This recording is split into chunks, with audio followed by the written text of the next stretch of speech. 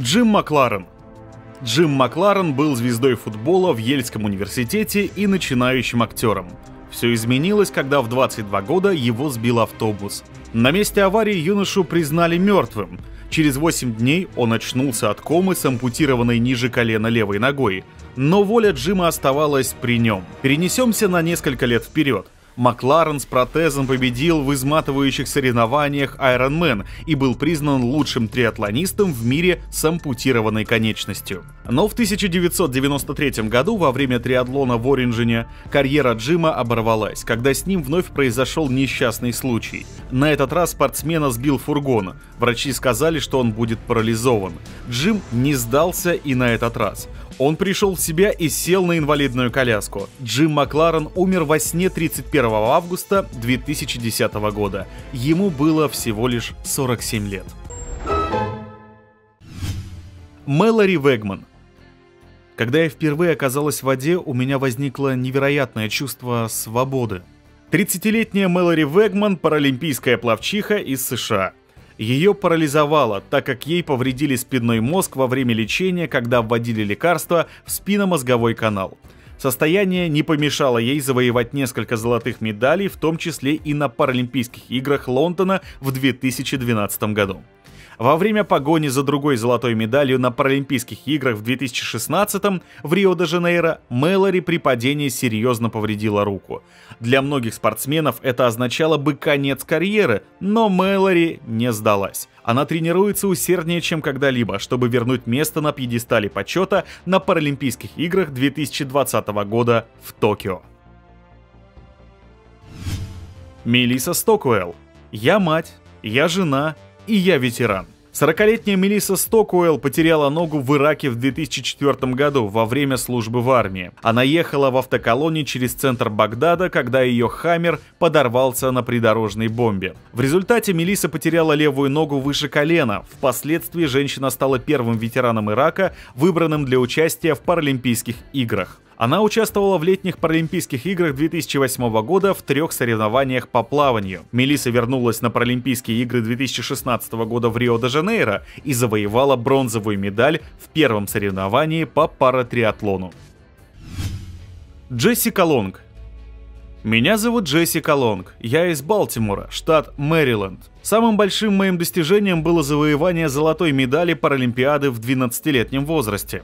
Джессика Лонг, 27-летняя паралимпийская пловчиха из Балтимора, считается одним из самых успешных пловцов в истории США, поскольку завоевала в общей сложности 23 паралимпийские медали. Джессика родилась с гемимелией, отсутствием малоберцовых костей, и ей ампутировали ноги в 18 месяцев. Это не стало помехой для занятия спортом, таким как гимнастика, езда на велосипеде, катание на коньках и скалолазание.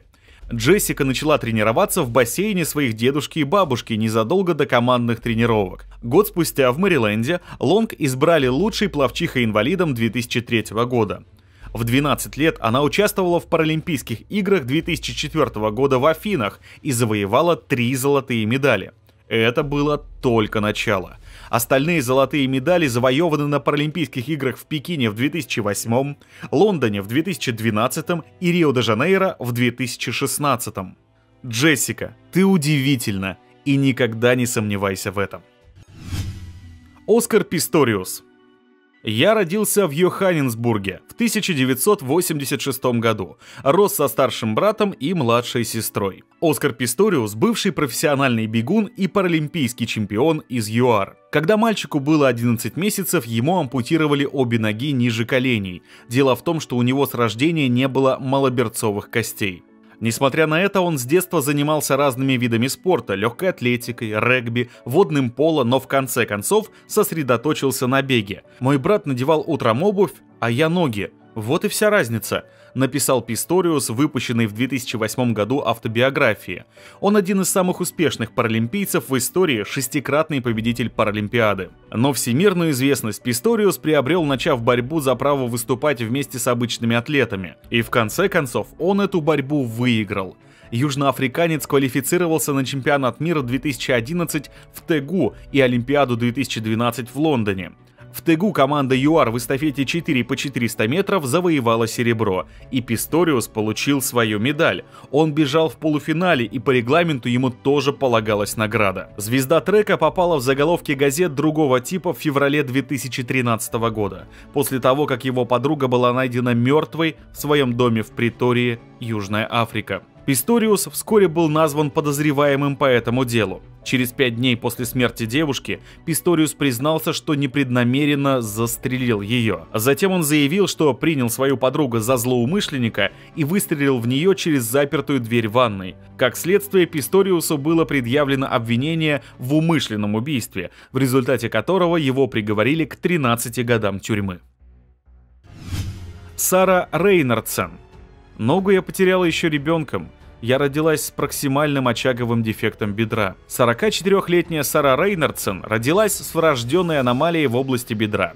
Ее левая нога была значительно короче правой. Поэтому в возрасте 7 лет она согласилась на ампутацию левой ноги выше колена, чтобы можно было носить протез. А вместо того, чтобы жалеть себя, Сара решила сосредоточиться на том, что у нее осталось. Две сильные руки, сильная нога, прекрасный ум и несокрушимый дух. Она начала бегать в возрасте 11 лет.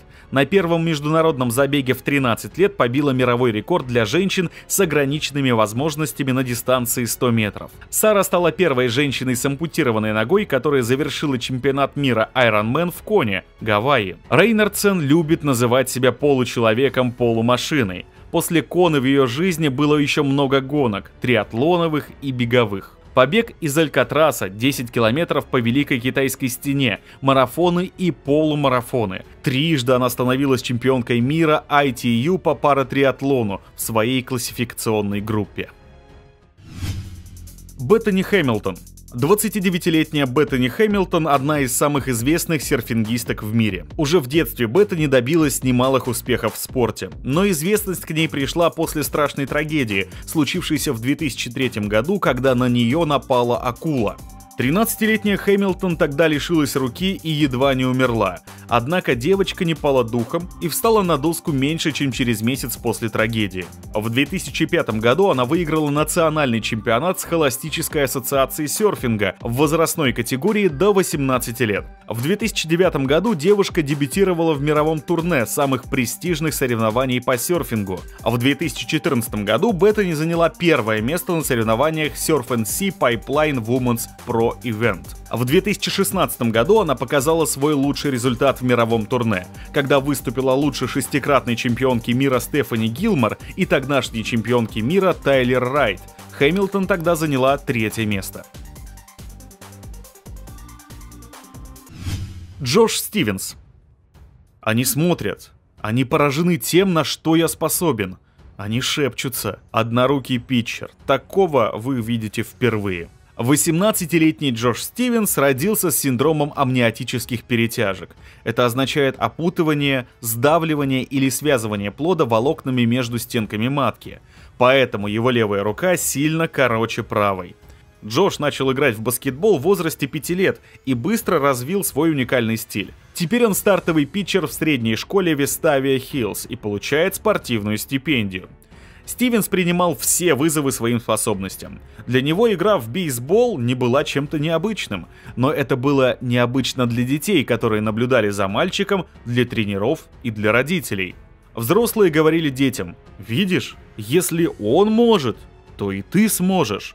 Джош, знает он это или нет, стал источником вдохновения для многих людей.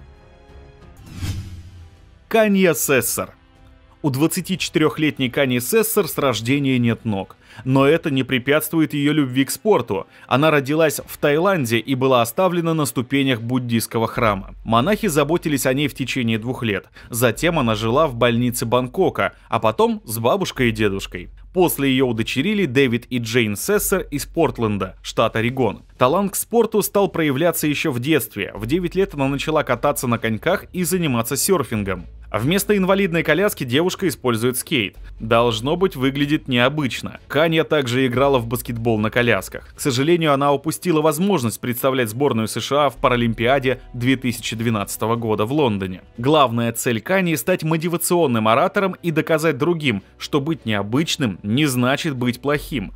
Девушка надеется, что со временем большинство людей придет к этой же простой мысли. А пока она снимается для журналов, работает в интернет-медиа и ведет страницу в Инстаграме, на которую подписано больше 50 тысяч пользователей. Зион Кларк. С чем ты рожден, того не изменить. Нельзя повернуть время вспять. Надо продолжать двигаться вперед.